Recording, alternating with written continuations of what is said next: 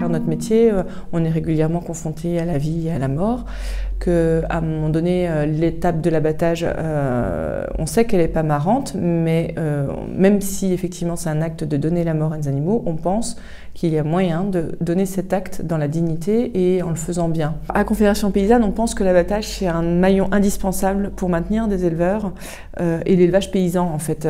Et à un moment donné, si on n'a pas cet outil d'abattage, on ne peut pas euh, valoriser nos animaux, on ne peut pas choisir de leur destination, que ce soit en vente directe, auprès de restaurateurs ou de certains bouchers, etc. Et donc, du coup, si on n'a pas cet abattage euh, proche de chez nous, donc on dit abattage de proximité, c'est compliqué. On milite aussi pour que de nouvelles formes d'abattage puissent exister, l'abattage mobile, l'abattage euh, en ferme euh, en appliquant ce qu'on peut appeler la flexibilité. On milite aussi pour euh, que l'abattage d'urgence puisse être organisé dans les abattoirs fixes de proximité et qu'il y ait toujours des solutions pour les éleveurs. Et donc quand il n'y a pas des solutions de transport possibles parce que les animaux sont accidentés et déclarés non transportables, on a milité pour obtenir l'abattage d'urgence de ces, animaux dans les fermes avec un transport et une collaboration avec les abattoirs de proximité.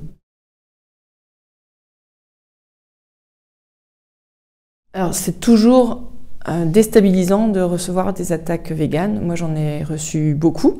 Euh, je pense qu'il est important de ne pas se sentir attaqué personnellement et de ne pas répondre en colère.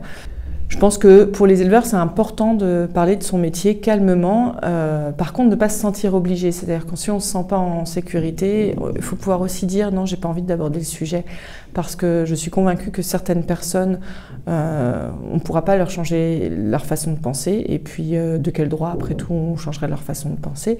Mais oui, je pense que ce que comprennent pas beaucoup de véganes, c'est que euh, pour nous, l'élevage paysan, et c'est ça qui les énerve beaucoup dans les échanges que j'ai pu avoir, c'est que l'élevage paysan, euh, comme la voie du, du, milieu ou la troisième voie, euh, ça les énerve au plus haut point parce qu'ils sont assez binaires. Donc euh, l'élevage c'est pas bien, c'est nul, on doit le supprimer. Et manger euh, végétal uniquement, c'est super bien.